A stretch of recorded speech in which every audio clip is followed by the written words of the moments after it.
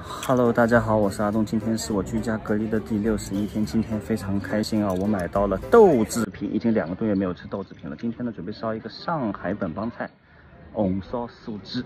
红烧素鸡的做法呢也是非常简单，营养又美味。话不多说，就跟着我的镜头，我们一起出发去看看吧。大家好，今天我们吃的简单一点，我们今天烧一个红烧素鸡。这是素鸡，想必大家都非常熟悉。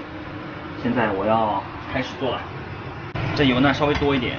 我们先干什么呢？把这个素鸡啊煎一下，油温升到你感觉差不多的时候，就可以放入素鸡了。嗯，火很小。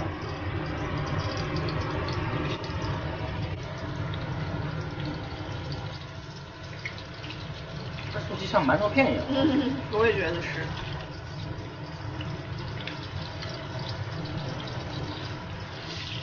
哇，感觉不够炸呀，放放不下。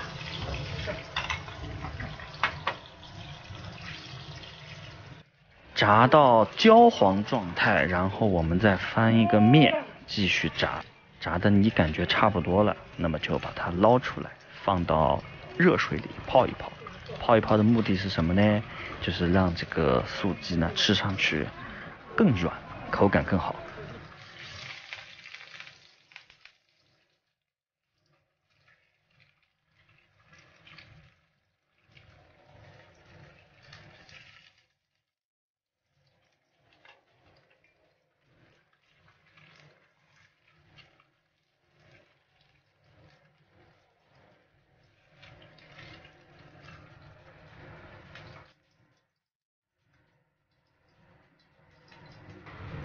下一步呢，锅中加水，倒入刚才浸泡好的素鸡，然后倒入一勺老抽，两勺生抽。我呢喜欢口感稍微浓郁一点，我又加入了半勺豆瓣酱。那么现在就是呈现这样的状态了。下一步呢，我们要调味了。首先啊，尝尝这个汤的味道，嗯，还是蛮淡的，可能是我这个水呢加的比较多。那我就要继续再放点调料了，啊，再放一点生抽，放一点盐，最重要的呢是要放糖，哎，糖多摆一点，然后啊，盖上锅盖，我们继续焖煮。